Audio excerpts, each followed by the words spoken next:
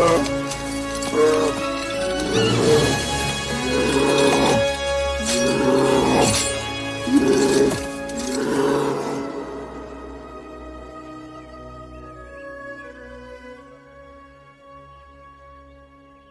think something's wrong.